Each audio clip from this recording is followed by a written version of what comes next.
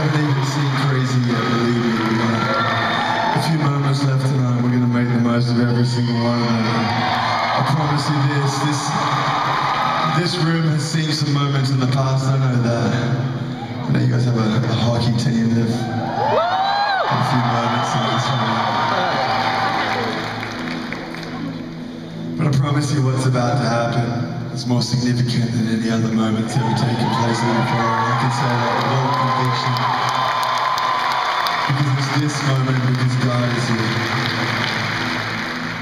I hope you're ready. I hope you're ready. You know what the truth is tonight? We don't need all of this, and by all of this I mean, you know, all the lights and megaphone.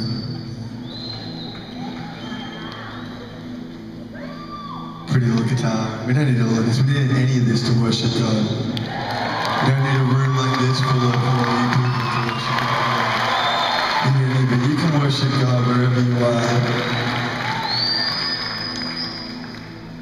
Worship, it's a heart thing. And, you know, our prayer with all that we do is that it would never be a distraction, but it would always come out of a place where the heart is pure. And I believe if the heart is pure, then God loves it when we give the best of what we have to Him. And that's that's been all we've ever wanted to do. We love God, we love and with a passion, we believe wholeheartedly that there's no greater there's no greater cause to be living for in this day and age than the cause of Jesus Christ and His church in earth.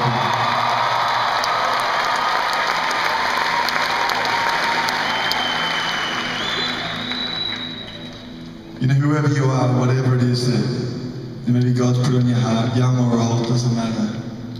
I believe God gives us passions, He gives us dreams for a reason.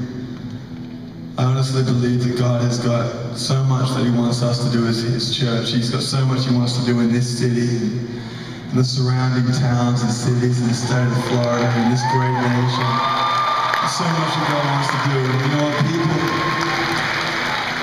people can put their trust in all kinds of things, mainly because they don't know any better.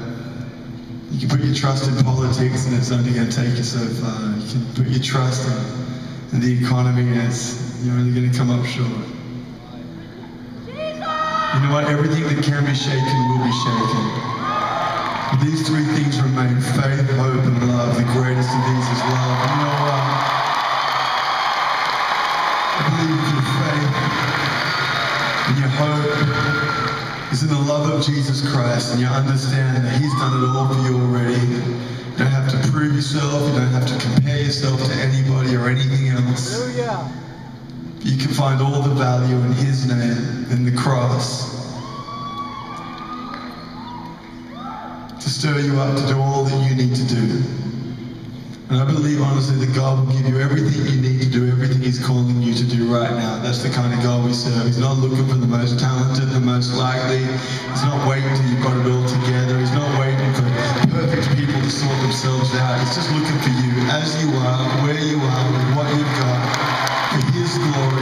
for His I promise you, if that's your heartbeat, if that's the cry of worship that goes beyond just a song in this room, but is, is, is revealed through our lives, I believe there's nothing too great for us to achieve for His name, for you to achieve for His name, whatever it is you're passionate about. So that's what this is all about. Are you ready?